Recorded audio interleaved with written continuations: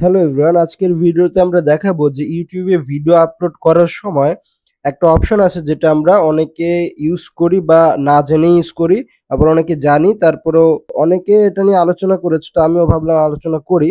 তো প্রথমটাতে তো আপনারা টাইটেল দেন, তারপরে ডিসক্রিপশন দেন, যা যা দেওয়া লাগে আপনারা দিয়ে থাকেন, তারপরে থামনেল সেট করেন, তারপরে প্লে লিস্ট সেট করেন, এগুলো পুরানো জিনিস, এগুলো সবাই আপনারা পারেন।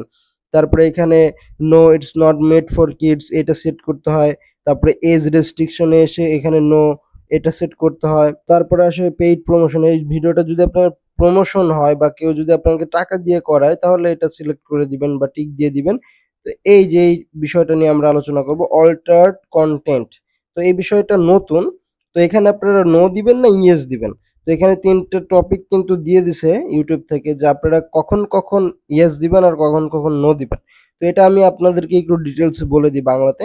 ধরেন প্রথম অপশনে বলতেছে makes a real person appear to say or do something that they didn't say or do এটার মানে হচ্ছে কোনো ব্যক্তি কিছুই করে নাই, তাও তার নামে চালাই দিচ্ছেন, বা কোনো ব্যক্তি কিছু বলে নাই, তাও তার নামে চালাই দিচ্ছেন, কোনো ব্যক্তি কিছু করে নাই, তাও তার নামে চালাই দিচ্ছেন, সেক্ষেত্রে আপনি ইয়েস দিয়ে দিবেন।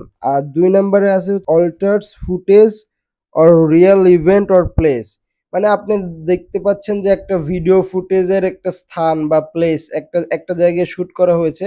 আপনি এডিটিং এর মাধ্যমে সেই জায়গাটা পরিবর্তন করে দিলেন।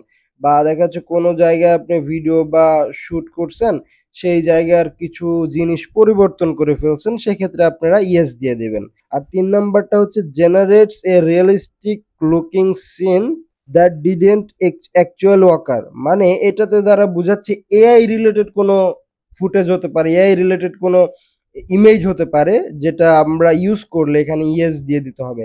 দেখা যাচ্ছে এখন কিন্তু এআই রিলেটেড যেগুলো জেনারেট করা হয় ইমেজ বলেন ভিডিও ফুটেজ বলেন, সেগুলো কিন্তু রিয়েলিস্টিকের মতোই দেখা যায়।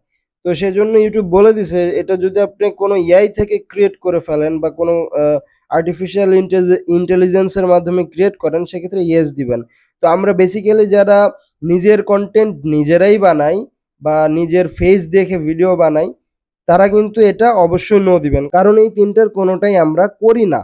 সেক্ষেত্রে আমরা নো দিব অল টাইম আর যারা এআই রিলেটেড ভিডিও বানান, তারা ইয়েস দিবেন।